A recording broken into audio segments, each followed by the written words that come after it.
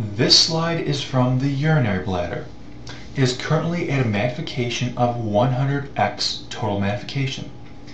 On this slide, we're looking for transitional epithelium. This layering of pink cells is your transitional epithelium.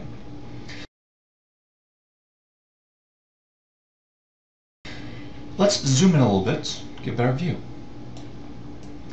Now, you can see that the transitional epithelium has the apical surface here exposed, and it has a basal surface down here, which is underlined with supporting connective tissue. Now you look at the transitional epithelium, first of all the name you'll notice does not have the typical epithelial characteristics. It doesn't start with a layer name like simple, stratified, or pseudostratified. It also does not include a cell shape name. For instance, there's no squamous, cuboidal, or columnar. The reason being is transitional epithelium is meant to have, go through distension.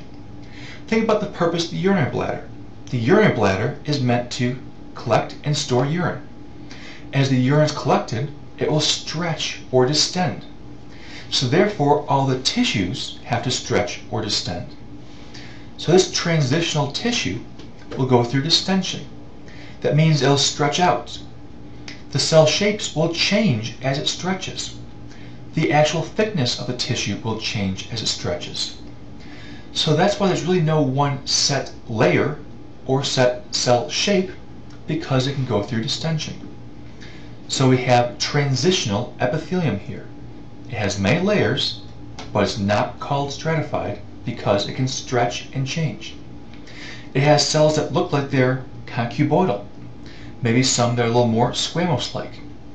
But again, there's no one cell shape, hence called transitional.